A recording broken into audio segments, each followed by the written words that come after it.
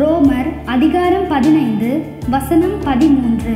பரிசுத்த ஆவியின் பலத்தினாலே உங்களுக்கு நம்பிக்கை பெருகும்படிக்கு நம்பிக்கையின் தேவன் விசுவாசத்தினால் உண்டாகும் எல்லாவித சந்தோஷத்தினாலும் சமாதானத்தினாலும் உங்களை நிரப்புவாராக.